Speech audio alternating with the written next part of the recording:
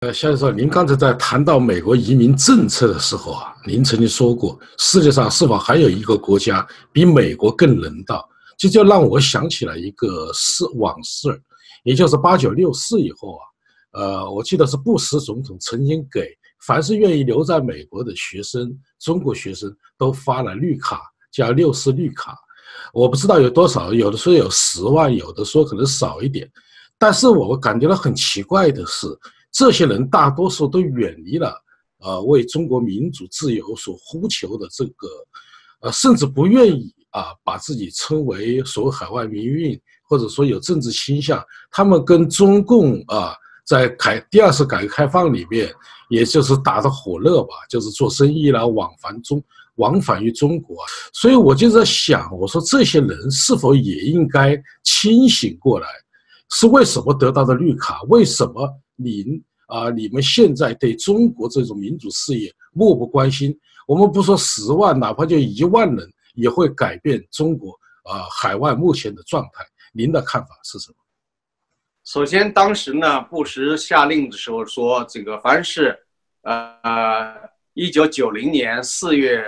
呃四月十五日还是四月十二日，我记不太清楚了啊，四月十一日大概是在那之前进入到美国境内的人都有资格居留。啊，就是那实际上不仅是中国的留学生，还包括学者或者是其他人士，只要你愿意留在美国的啊，在那日期之前进入的话，啊拘留的话都可以。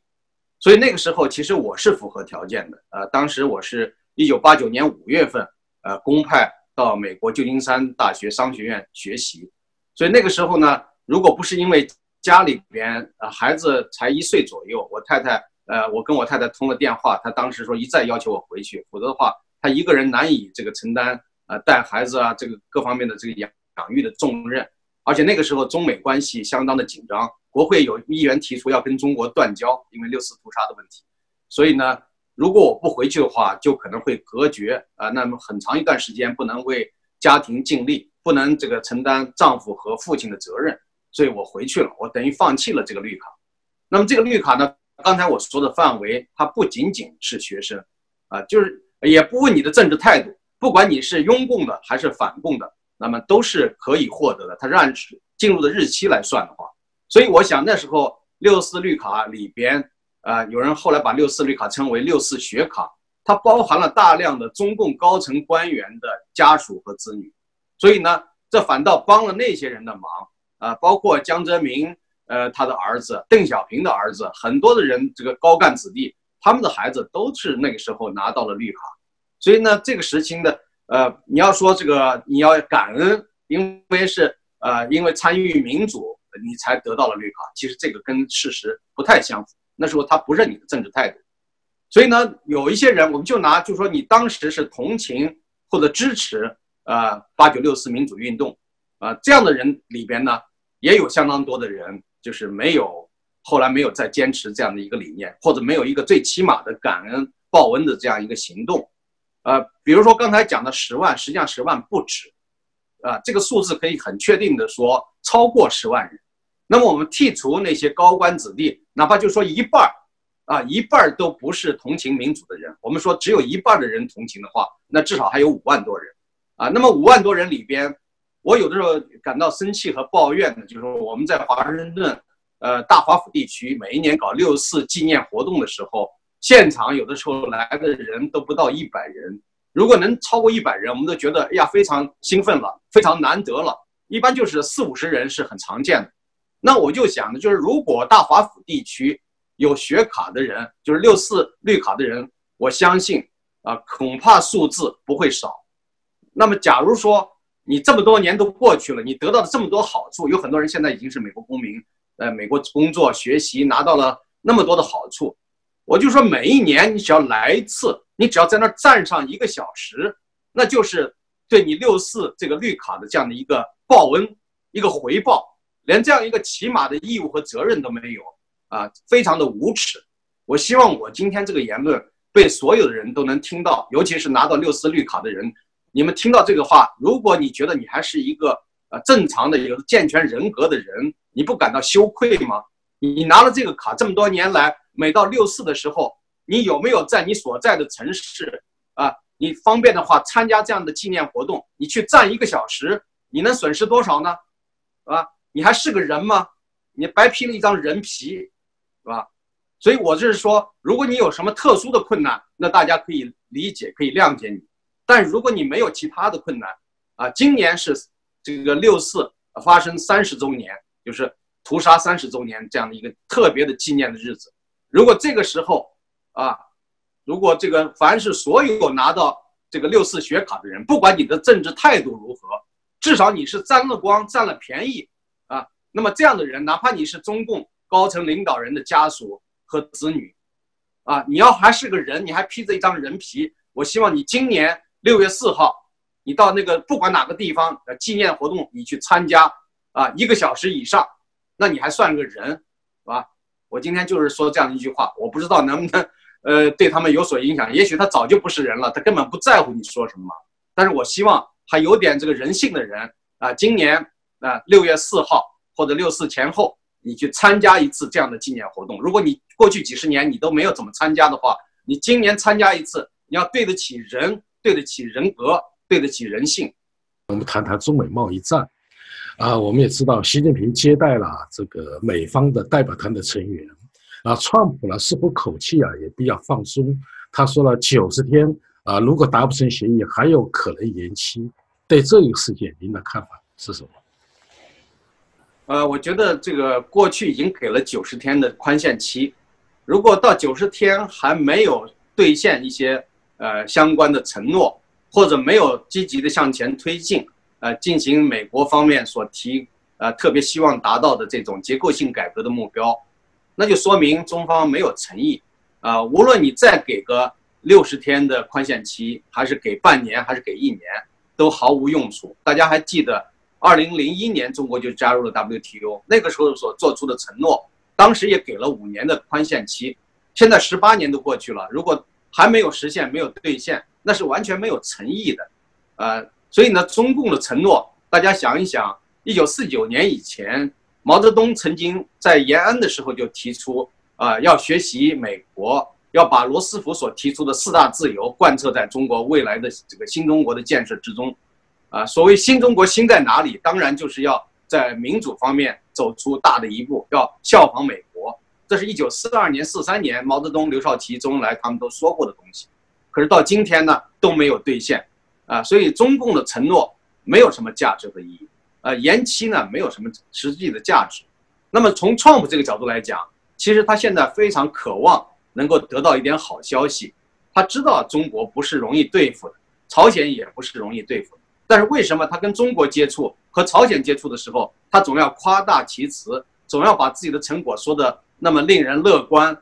实际上他就是恰恰内心有一种悲观的态度。他知道。跟这两个国家打交道，基本上得不到什么他想要的东西，但越是这样，他越急迫的希望能够有一些好消息，来这个向国内的一些反对者交代，向支持他的选民交代。所以我觉得现在创普其实内心啊越来越想尽快的得到来自中国的好消息，但是我我相信他的这个希望还要再次的落空，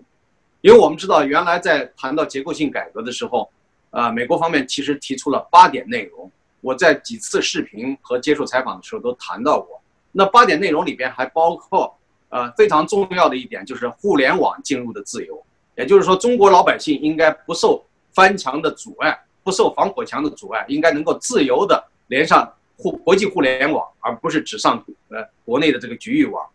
呃，还有呢，就是对劳工权益的切实保障，应该允许中国老百姓啊，中国的劳工者成立。独立的工会，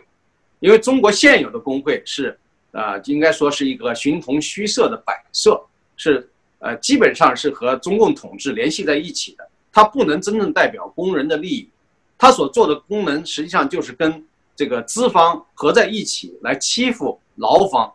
啊，这个是非常滑稽的。应该工会是站在劳方，而不是站在资方，但是在中国，你往往看到企业开会的时候，啊，党政工团的领导。他 那就是在企业的资方那个那一边做，而劳工这边却没有专业人员，没有真正有力的人来为他们代理，为他们他们的权益说话。我曾经在二差不多二十年前就呼吁过，我说中国呢需要有一批专家学者和业内人士来作为劳工权益的代言人，比如说维权的律师，比如说这个法学专家啊、经济学家、劳工问题谈判专家、心理学家等等，他们为工会服务啊。那么工会在西方呃是有强大的议价力量，而且工会呢也是有呃不但有议谈判力量，而且工会呢它有专业能力，也有一定的经费。因为他所缴纳会费嘛，所以呢，工会也是有钱的，所以工会能够聘得起一些人来为劳工的权益呃发声。那么在中国呢，其实劳工是非常呃没有得到保护的弱者，啊，不要说这个呃工人没有受到有效的保障，还有农民呢，几亿农民也没有农会。我记得杜润生先生，呃，在一九不是一九二零零三年，呃。到零五年之间都经常说一些话，尤其是我记得是二零零五年有一次，二零零五年三月份西山会议，那是一个小范围的会议上，呃，大概只有三十多人，有政府高官也有学者。当时呢，杜润生先生说，他说小平在世的时候曾经向他交代过两件事儿，啊，这个也是，呃，八九六四之前发生的。当时呢，杜润生说。呃，现在有很多呢提议，很多人提议，就是说能不能恢复农会，啊，因为在过去啊，这个所谓民主革命时期，啊，中共曾经领导农会，呃，争取权益，反抗压迫，对吧？那现在呢，很多农民觉得，如果要是有农会为他们进行这个权益的保护，类似于工人受工会的这种保护，啊，能不能建立农会？还有呢，第二个问题就是说，能不能把土地真正的赋予私有产权，分给农民，这两个问题呢，邓小平并没有断然拒绝，而是说，你们可以先试点，啊，看几年再说，